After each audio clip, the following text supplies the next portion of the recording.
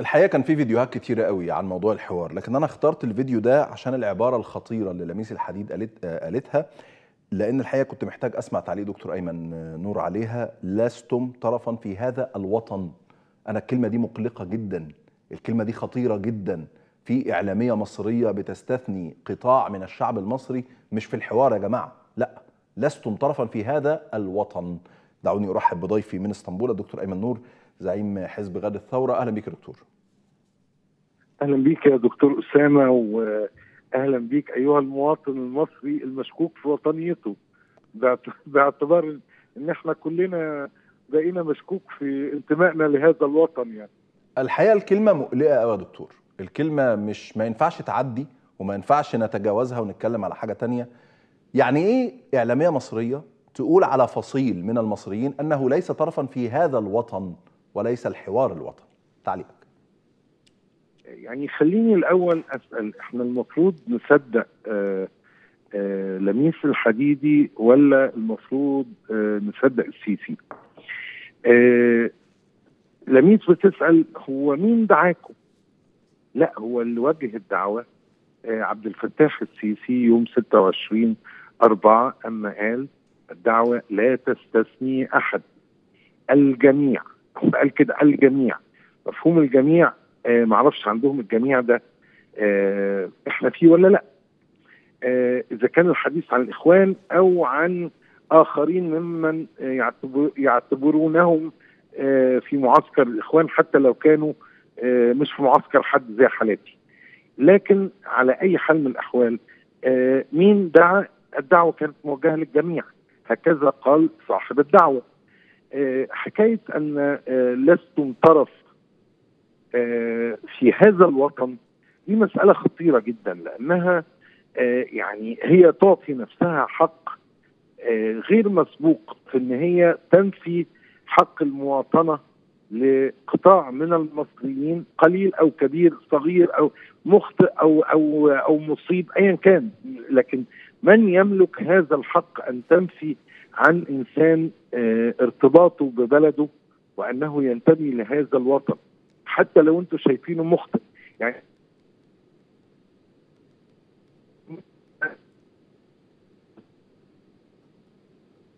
دي مسألة حقيقة ليس يعني صلاحيات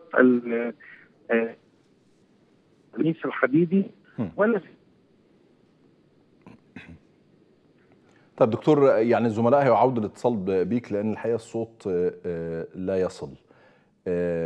في حلقة سابقة الأسبوع اللي فات كنت بتكلم عن موضوع الحوار الوطني يمكن في في برنامج آخر. وكنت بناقش البيان اللي نزلته ما تعرف باسم الأكاديمية الوطنية للتدريب لبدء الحوار.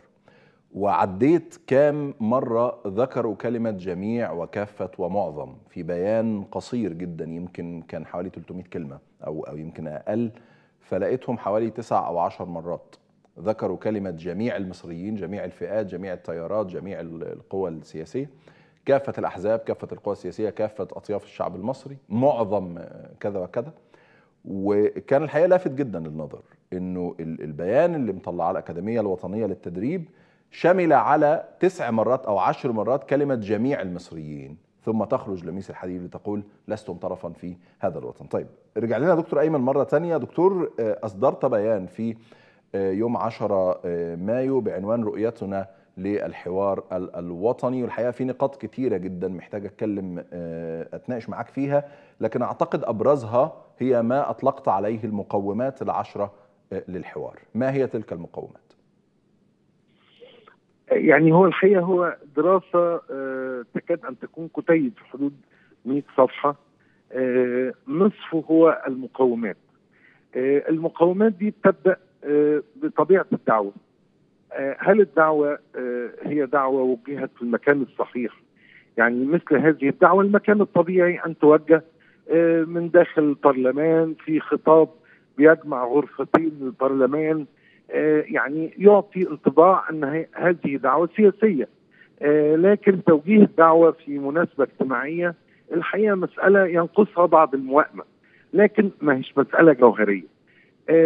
في اعتبارات أخرى أهمها في تقديري مسألة المظلة.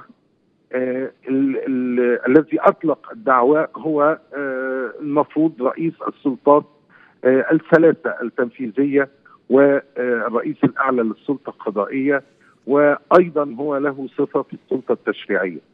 آه كيف يحيل إلى جهة لا اختصاص دستوري ليها؟ آه يعني لو أحال للبرلمان في نصوص في الدستور تسانده لو أحال للمجلس الشورى في نص المادة 281 يسانده إن ده من ضمن مهام مجلس الشورى رغم إن إحنا عندنا تحفظ على كل التعديلات 2019 آه أنا كان رأيي وده اللي أنا طرحته في رؤيتي آه أن آه يعني يتم استحداث مفوضية مصرية للحوار وللعدالة الانتقالية اللي أصبحت غائبة وملهاش صاحب. يعني هي موجودة في الدستور وكان في وزير اسمه وزير العدالة الانتقالية اختفت هذه الوزارة ولم يعد هناك دور أو مسمى للعدالة الانتقالية. فكان مقترحي مفوضية مصرية حوار وطني والعدالة الانتقالية. آه لكن أن يحال هذا الأمر لجهة آه آه مؤسسة تدريب أو مؤسسة شباب الحقيقة هذا أمر ربما يليق بحوارات الشباب ربما يليق بالندوات الثقافية التي كانت تعقد في المسارح الخاصة بالقوات المسلحة لكن بحوار وطني بمفهومه الشامل بعد 17 سنة ما عندناش حوار وطني في مصر. إحنا آخر حوار وطني يا دكتور أسامة حدث في مصر كان في 2 فبراير 2005 يعني مر 17 سنة على هذا الحوار الوطني. بعد 17 سنة أجي أسند هذا الحوار آه للا مظلة. آه يعني مثلا كان هناك مظلة يمكن وجود تفسير آه يعني مقبول ليها لو قلنا مثلا بيت العائلة المصرية اللي بيجمع الكنيسة والأزهر مثلا نقول له سلطة أدبية تسمح أن يلعب هذا الدور. لكن مين مؤتمر الشباب؟ ومين المؤسسة المسؤولة عن التدريب أو أو عن غيره؟ الحقيقة يعني ده كلام ممكن يتم الاستعانة بيهم كجهة فنية كسكرتارية. للمؤتمر لكن دول يبقوا مظلة المؤتمر دي مسألة في منتهى الخطورة وده معيار غائب وخطير جدا في عملية الحوار. طيب. هناك معايير أخرى لها علاقة بالأجندة ما هي الأجندة ومن يحددها؟ أهم معيار وهو المشاركين. مين المشاركين ومين اللي هيختارهم؟ وإيه مساحة التوازن بين المعارضة وبين السلطة؟ الحوار بين طرفين متناقضين بين السلطة التنفيذية وبين المعارضة المصرية. لا يمكن يكون الحوار بين السلطة وأتباع السلطة أو مؤيدي السلطة أو أحزاب السلطة. فالحقيقة تحديد المشاركين مسألة حاسمة. أن هناك حوار وطني أو أن هناك عبث وطني. وأنا أعتقد إن إحنا حتى الآن لا يوجد لدينا ما يؤكد جدية فكرة الحوار الوطني. أشكرك شكرا جزيلا دكتور أيمن نور زعيم حزب غد الثورة. كنت ضيفي عبر الهاتف من إسطنبول.